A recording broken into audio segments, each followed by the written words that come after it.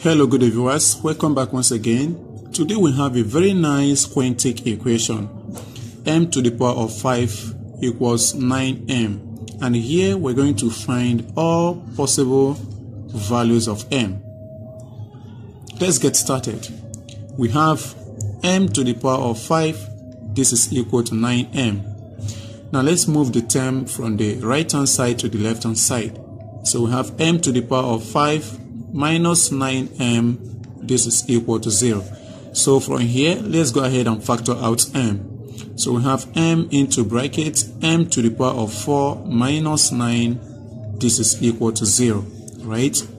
So from here, we have m is equal to 0, or from here we have m to the power of 4 minus 9, this is equal to 0. So here we have a solution for m which is 0 and that satisfies the equation. Now let's solve for the other roots of the given equation from this quadratic equation. So now the idea here is to rewrite the left hand side of this equation. m to the power of 4 is same as m squared squared minus here 9 is the same as 3 squared and this is equal to 0. So you know why m to the power of 4 is same as m squared then in bracket squared. If you recall the property a to the power of b raised power of c, this is same as a to the power of b times c.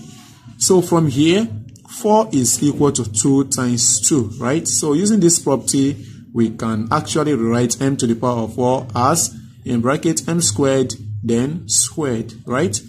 Okay, now from here, we'll be making use of the difference of two squares formula. Recall that a squared minus b squared is equal to a plus b multiplied by a minus b. So from here, make use of this difference of two squares formula, we get m squared plus 3 multiplied by m squared minus 3 and this is equal to 0.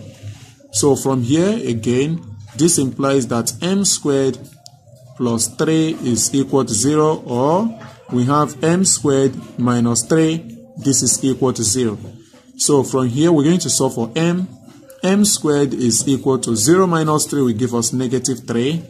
So from here we take root of both sides, we get m is equal to plus or minus square root of negative 3 so here m is equal to plus or minus. Remember square root of negative 1 is i, right? Then root 3.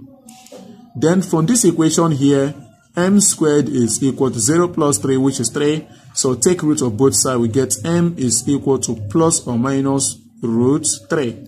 So we can see that we have three real solutions, right? So here we have the real solutions. So we have m is equal to 0.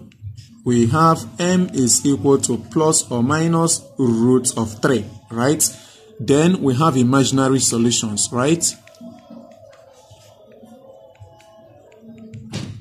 And we have two imaginary solutions. That is m is equal to plus or minus i root 3. And these are the solutions. Thank you for watching. Please kindly subscribe to my channel also like, comment and share. Bye bye.